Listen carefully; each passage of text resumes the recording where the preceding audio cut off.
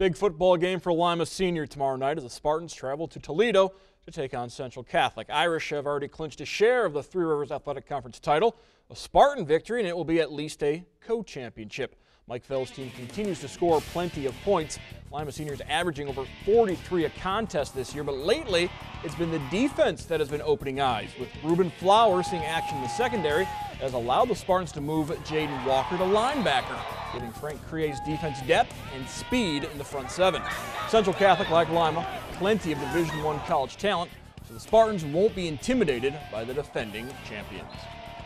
We, our, our prospects is Division One also, um, but we we have we're not intimidated at all by these boys. We uh, really taking it to our to our hearts. We lost lost to them the last two years, so it, it really it's, it's a really uh, important game for us. We've had an excellent week of practice, and we've talked all week about we've got a battle.